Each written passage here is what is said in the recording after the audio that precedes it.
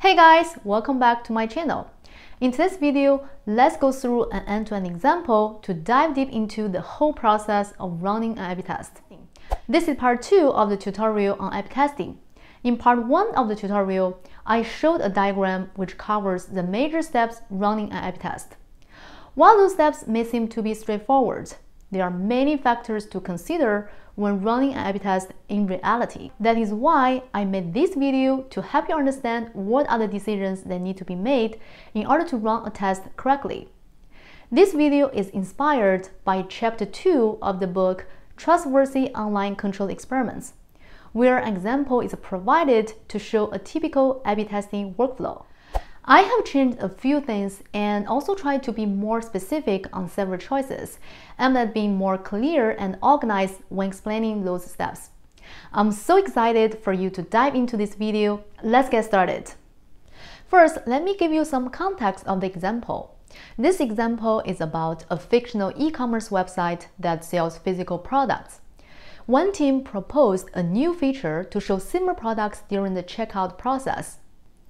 The idea is that a customer might want to buy some similar products together with those already in the shopping cart, and this feature is projected to increase revenue. However, there's a concern that showing similar products might distract customers from checking out, which may degrade revenue. The argument is that a similar product may have a cheaper price or more features or might be more appealing, then customers may spend extra time exploring those products and delay or even abandon the checkout process. To evaluate if this is a good idea or not, the company decided to run an A-B test. Now let's follow the diagram to see what are the needed ingredients to run this experiment. Before running the experiment, we need to be clear on the objective and key metrics. What are the variants and the randomization unit? First of all, let's choose a metric to reflect our goal. Since we are interested in measuring the difference of revenue due to the new similar products feature, one good metric is simply revenue. Note that it will only be a fair comparison between control and treatment when the number of users in the control group is the same as that in the treatment group. However, the actual number of users may be different due to pure chance. So considering possible differences between groups, we could normalize revenue by the number of users in each group, and the metric would be revenue per user. Next, we need to make changes to the product and come up with variants of the experiment. The control group will stay the same, i.e. does not have a similar products feature and customers could check out and make a payment directly. The first treatment group is to add a similar products section on the checkout page. This section shows products that are similar to the ones that are already in the shopping cart, and those products are recommended by a backend algorithm. Here, we won't dive into how the backend algorithm works, but for this example, we can assume it's able to provide reasonable recommendations. The second treatment group has a pop-up window to show similar products, Users could click on a product to explore more or exit the page by clicking the X icon. The products showing on the pop-up window are the same as the ones in the first treatment group, meaning that we are using the same backend algorithm. If we change the algorithm, it will not be a fair comparison. Once we have different variants for the experiment, the next thing is to consider if we have enough randomization units.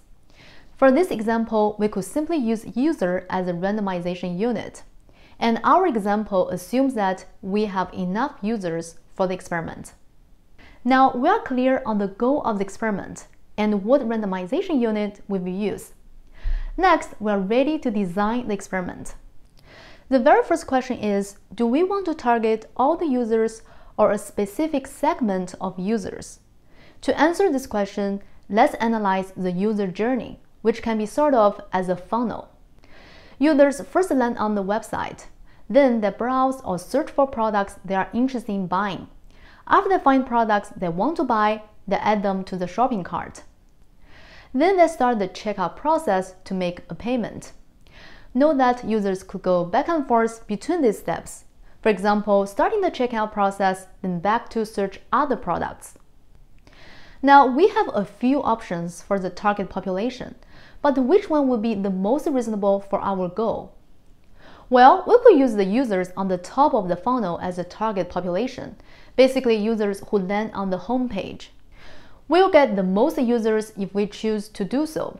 However, a large proportion of them will not start the checkout, so they will not be impacted by the change at all.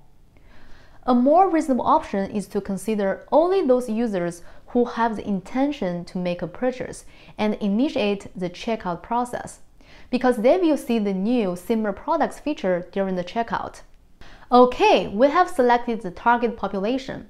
Next, let's determine the sample size of the experiment. Basically, how many users should be allocated randomly in each group? There are a few things to consider. First, what is the practical significance boundary? How much change is the change that matters from a business perspective, given all the costs associated with making a change? For our example, how much increase in revenue per user would be considered to outweigh the costs? In this example, assuming different stakeholders have agreed on an increase of $2 in revenue per user is practically significant. In other words, if revenue increased by $2 on average, we could launch the change to production. Then we need to choose the power of the test, as well as the significance level, alpha, in order to calculate the sample size. We will use the industry standard 80% power and 5% significance level. With power and alpha, we can apply the formula 16 multiplied by sigma squared divided by delta squared, where sigma is the standard deviation of the population and delta is the difference between treatment and control. If you need a refresher on how to derive this formula, check out this video for the details. But we still don't know the value of sigma yet. Let's assume the sigma is 20 for this example. So the sample size is 1600 users. It means that we need 1600 unique users in each variant. So it will be 4800 users in total. Note that if we want to detect a smaller change, such as $1 instead of $2, we'd need more samples. Also, if we set a lower alpha, such as 2.5%, we would also need to increase the sample size. The last thing remaining before running the experiment is to decide how long to run it. And we'll need to consider at least the following four factors. First of all, it's common to have a ramp-up plan for an experiment, especially for changes like this, which involves using a new backend algorithm. The goal is to make sure there's no bugs and the traffic can be handled without introducing too much latency. Typically, it exposes only a small percentage of users to the change, then gradually increase the percentage. While there's no fixed numbers of the starting point, the rule of thumb is to start with dozens of users. For this example, we could start with 5% of the target population in each treatment group on the first day and increase to 10% on the second day. Eventually, it will be a 34, 33, 33% split among control treatment 1 and treatment 2. On average, there are 2,000 users per day entering the checkout process. This translates into running the experiment for a minimum of 4 days. Note that 2,000 users is the total number of users, and some of them may check out on multiple days. So if we have 2,000 users on the first day, the second day will have less than 4,000 distinct users in total. The second factor is the day of week effect. People behave differently on particular days of a week than other days. For example, people may make more purchases during weekends. So it is recommended to run at least a whole week to capture this effect. The third factor is seasonality. It refers to the holiday seasons. For example, e-commerce might experience a surge in sales during Black Friday, and the user's behavior during the time cannot be generalized to non-holiday times. So if an experiment runs during a national holiday, the data gathered during the holiday should not be used for analysis. Then we need to run the experiment longer. The last factor is primacy and novelty effects. Users respond to changes differently. Some favor new things and some don't like change. We can only tell if there is such an effect after running the experiment and analyzing the data. So to summarize, we want to run the experiment for a minimum of a full week, starting with 5% in both treatment groups, and eventually it will be a 34, 33, 33% split among control, treatment 1, and treatment 2. It will be potentially longer if we detect novelty or primacy effects. Now we have 3,600 users in total. As I mentioned earlier, the number of unique users is less because some users may check out on multiple days.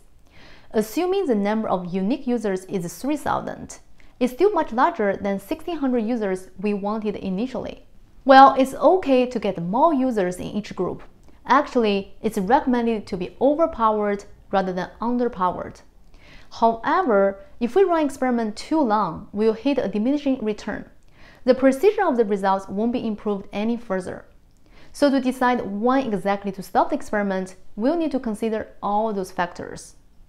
After designing the experiment, we could start running it and collecting logs data. Finally, we get all the results and we're very close to making a launch decision. Before dive into the analysis, we first need to do some sanity checks. Why do we need them? These checks are important because we have a few assumptions of A-B tests and the results are unreliable if those assumptions are violated.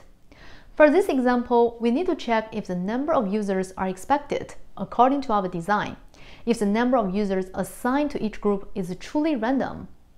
We also need to check the latency when loading the web page in treatment 1 and the latency of the pop-up window in treatment 2.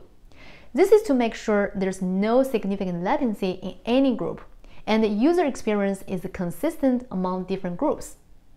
For our example, suppose the results successfully pass the sanity checks. We could then use hypothesis testing to make recommendations. Let's look at the results together. Here's a table showing the results of the experiment. Let's plot them with the statistical and the practical significance boundaries. Typically, we recommend launching a change if the result is both practically and statistically significant. Otherwise, not launching the change. But this result does not seem to be that straightforward. When comparing treatment 1 versus control, we see that the result is not statistically significant based on the p-value but it's likely to be practically significant because the point estimate is larger than the practical significance boundary. So we can argue that there's no impact at all, or we could argue the impact can be significant enough to launch the change. Because of such uncertainty, we don't recommend launching the change. Running a follow-up test with more power would be helpful in this case. The comparison between treatment 2 and control is also interesting. The confidence interval overlaps with the practical significance boundary. While the result is statistically significant, it's possible that the change is not practically significant. We also recommend running a follow-up test to make the final decision. Alright guys, this concludes the end-to-end -end example. I know I have talked a lot, but hopefully through this example, you have a better understanding on what are the decisions that need to be made in an online control experiment. In the next video, we will dive into some very interesting topics about experiment design. Stay tuned, I will see you soon.